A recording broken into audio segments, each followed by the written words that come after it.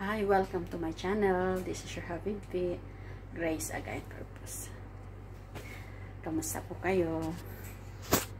Bali, may gagawin po tayo ngayon. Gagawa po tayo ng cream. Caramel. Cream caramel. Para po siya itong ano, uh, leche plan sa atin. So, ipapakita ko po sa inyo yung pinaka-ingredients. Bali, yung ready-made na po siya na caramel cream. Bali, 2 box, 2 boxes of cream caramel. Bago, tatlo po na fresh milk na 250 ml. So, 750 ml po na fresh milk. Bali, meron na po siyang syrup ito sa loob ng box.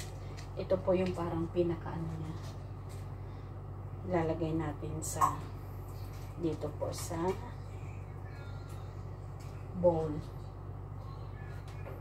So, kailangan po natin na initin po yung ating fresh milk.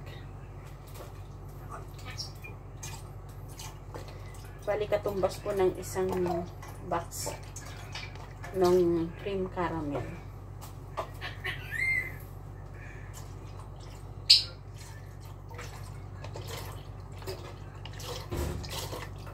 Three hundred ml of fresh milk.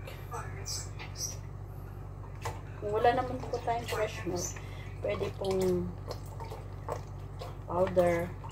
So, susukatin lang po natin. Bali, ang katumbas po nito, almost uh, 4 to 5 glass full. Full po yung pinakagatas na ilalagay. So, kapag mainit na po yung ating fresh milk, ilalagay po natin itong cream powder.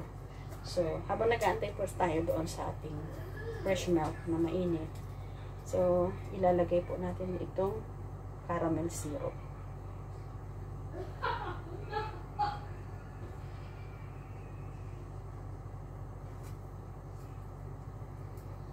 Napakadali lang pong gawin to. Kasi, pag gumagawa tayo ng leche plan, marami pong proseso ng paggawa. So, ang ano po nito, ang mainam lang dito sa ready-made na cream caramel na halos parehas naman po talaga sa leche plan talagang ginagawa natin. Ay, imimix lang po natin yung powder, yung mix powder siya. 来，谁呀？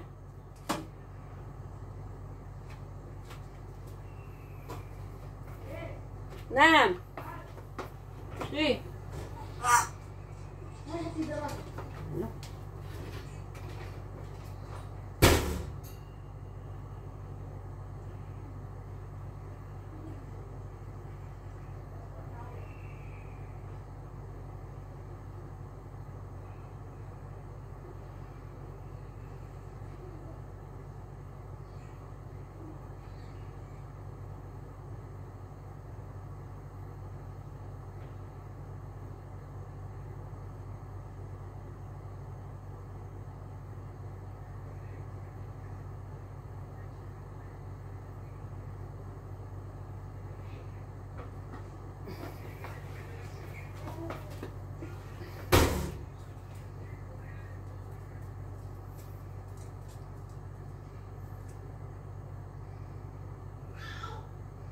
Ang magagawa po natin sa isang box ay nasa apat po na bowl.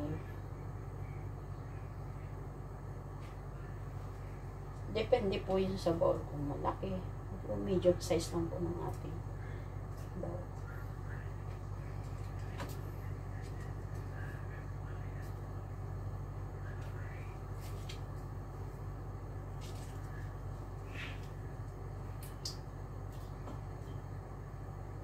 Ayan.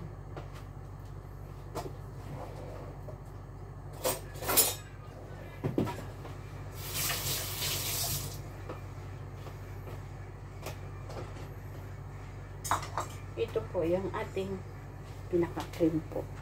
Yung kung lalagyan. Ayan. Bali po yan yung cream syrup po niya.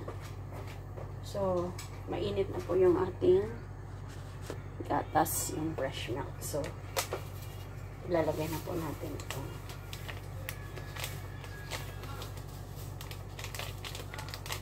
Dalawang sachet nito.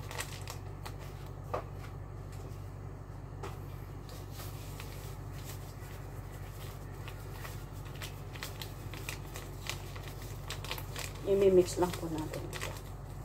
Kapag alam na natin yung nag-void na ito ng ating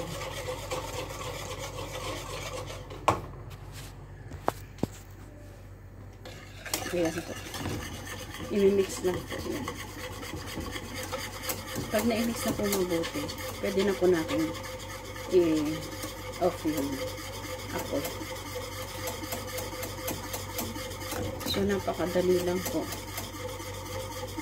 ng ating paggawa ng ating cream.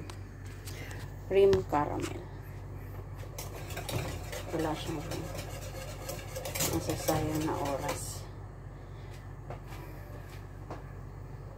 Ayan. So, na-mix na po natin. At mainit na yung ating fresh milk. Pwede na po natin ilagay sa ating sa ating bowl. Yan. Napakadali lang po, di ba? 3 to 5 minutes. Mapakulon po natin ang ating fresh milk. I-mix lang po natin yung ating ready-made na caramel powder. Cream caramel. Ay makakagawa na po tayo ng ating crema. Cream po ang tawag sa kanila dito to. Madalas to gumagawa kami kapag Ramadan. Pero kapag ginusto naman po ng mga nila na gumawa ka. Magpagawa sila. Pwede ka naman gumawa. Kaya napakadali lang ho.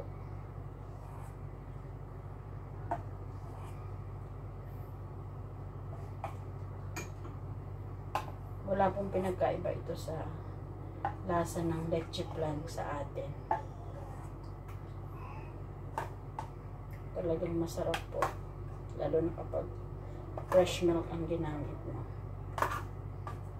Ayan. We're done. We make our caramel, cream caramel.